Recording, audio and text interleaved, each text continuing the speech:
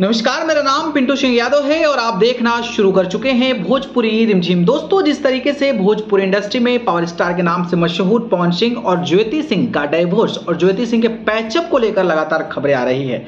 आपको पता होगा कि मैं जानकारी लगातार दे रहा हूँ कि महिला विकास मंच की बिना मानवी और फाद खान जो हैं वो पवन सिंह से मिलने के लिए मुंबई में गई हुई थी और पवन सिंह से मिलने के बाद जिस तरीके की प्रतिक्रियाएँ दे रही हैं, उसके बाद भोजपुर इंडस्ट्री में एक अलग चर्चा होने लगी है। जी हाँ बात करें तो बीना मानवी का कहना यह है कि पवन सिंह और ज्योति सिंह के रिश्तों को तोड़ने वाला कोई और है और वो कौन है?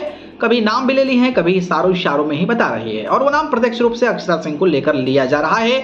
लुटेरी तक इशारों ही इशारों में कहा जा रहा है तो आप अंदाज़ा लगा ही सकते हैं। बाकी बिना मानवी का जिस तरीके की प्रतिक्रियाएँ आ रही है, और उसके बाद से जो पवन सिंह के फैंस है, वो अक्षरा सिंह पर टूट पड़े हैं कि भाई, यही है जो लुटेरी बन के पवन सिंह को लूटी थी। और जो इनका तलाक है, जो इनका डाइवोर्स है, और जो इस तरीके की चीज़ें इन दोनों के रिश्तों के बीच में आई थी उसकी वजह अक्षरा सिंह है। अब अक्षरा सिंह ने इस पर अपनी प्रतिक्रिया दे दी है और उन लोगों को रास्ता दिखाया है जो लोग इस तरीके के आरोप लगा रहे हैं। दरअसल कल अक्षरा सिंह ने अपने फेसबुक अकाउंट पर एक पोस्ट लिखा है। लिखा है कि, का हालवा, प्रणाम। हमारे प्राणों से प्रिय शुभ को वर्तमान में हमारे साथ बहुत षड्यंत्र हो रहा है, लेकिन प्रभु की इच्छा समझ के हम आनंदित महसूस कर रहे हैं।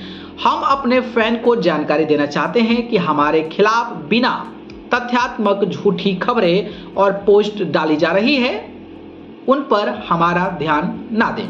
मतलब उन पर आप ध्यान ना दें। बादल छटेंगे, सूर्य निकलेगा, सत्य की जीत होगी। आपकी प्रिय अभिनेत्री अक्षरा सिंह।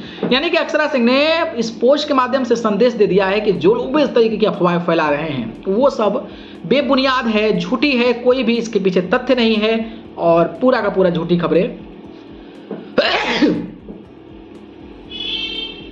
पूरा का पूरा झूठी खबरें जो है फैलाई जा रही है। बाकी अक्षरा सिंह ने जिस तरीके की प्रतिक्रिया दी है और अक्षरा सिंह और पवन सिंह को लेकर जिस तरीके की बातें कही जा रही है, उस पर आपको क्या लगता है? बताइएगा, ठीक है? धन्यवाद।